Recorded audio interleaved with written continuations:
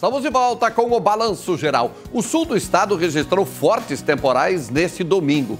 A chuva causou estragos em diversas cidades. Agora, a repórter Carol Carvalho vai nos trazer as informações a respeito. Carol. A chuva e o vento forte que caíram no fim da tarde desse domingo aqui na região causaram alguns transtornos no sul do estado, tanto na região carbonífera quanto na região do extremo sul. Corpo de Bombeiros, Defesa Civil precisaram atuar. Aqui na nossa região a gente teve muitas placas de publicidade, outdoor que caíram também.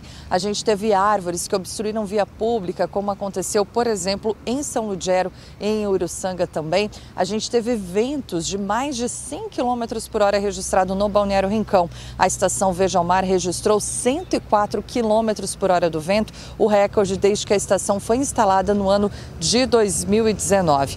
A gente teve então muitas quedas e também tivemos alagamentos pontuais. Por exemplo, a rua João Sequinel, que está passando por obras de drenagem que começaram na semana passada, teve alagamentos pontuais também. A gente teve casas destelhadas em alguns bairros de Criciúma, como por exemplo no bairro Naspolini, ocorrências no Recanto Verde. Segundo Fred Gomes da Defesa Civil, pelo menos 12 ocorrências foram atendidas pelas equipes da Defesa Civil aqui em Criciúma.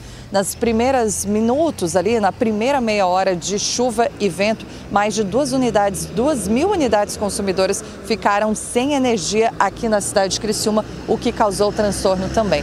O Corpo de Bombeiros contou inclusive com a ajuda de populares para desobstruir vias. Em Uruçanga, uma rodovia ficou bloqueada por cerca de duas horas até que a liberação então acontecesse, né, de fato, por meio do trabalho do Corpo de Bombeiros. Então foi uma chuva muito forte, muito rápida, com vento que causou transtornos pontuais aqui na cidade de Criciúma e, claro, em toda a região sul do estado também.